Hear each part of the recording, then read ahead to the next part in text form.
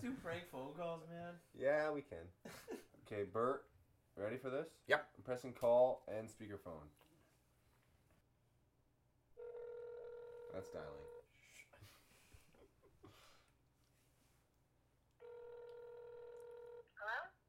Hello? Hello, is this Mrs. Myers? Yes?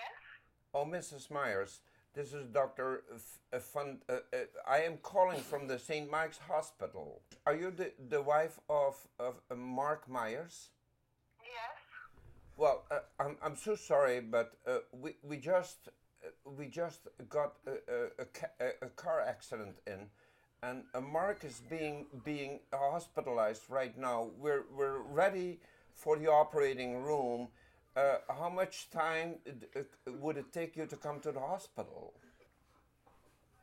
In Hamilton? No, no, no, no. He, he has. It- it's um, in in Toronto. I'm I'm in the hospital room.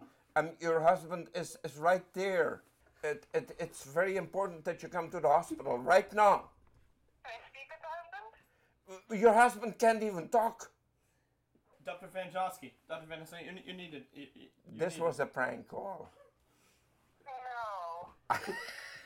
How could she tell? How could, How could Aaron tell? how, That's how amazing. could you tell Aaron? Was it the thick Dutch accent and the fact that you knew Mark was hanging out with a man with a thick Dutch accent? I hope I hope I didn't screw it up, Aaron. Yo, next time on a prank phone call, let's not joke about Oh. a husband being serious. Someone died. That's a terrible prank. I I Oh. think I did. Pretending Mark I was think- almost in a horrible accident I was think I think I did all right, Aaron. Oh give my me- God. give me a- had me fooled. Give me a little bit of credit. You fooled. Aaron, I'm all right. That is a Uh, terrible prank. I said he's he's okay. Well, that's good to know.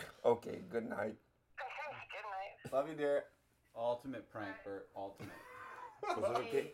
Oh, that's great. You wanna, you wanna call my parents and do the same thing? Go with that? My Hey. goodness. That was pretty good, Bert. Oh, man. Well done. The best is how you never gave your doctor name. That's Doctor. Regardless. Uh,